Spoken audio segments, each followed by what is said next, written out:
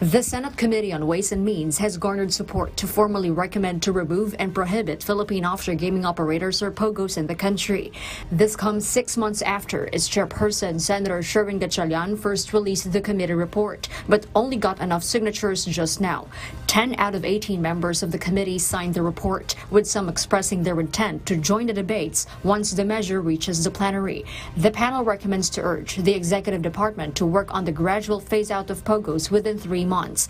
This is to allow POGO companies to undergo process for closure of business.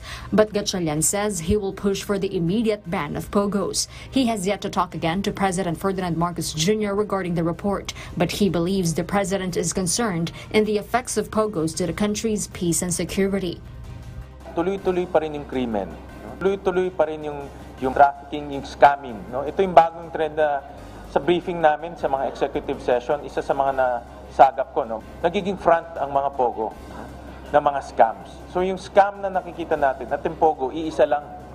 However, Senator Imee Marcos, who is a member of the committee, did not sign the report. She says she has yet to read the latest version of the report and wants to study it first. But the presidential sister admits she has concerns on banning pogos, stressing the need to ensure the prosecution of those behind its operations.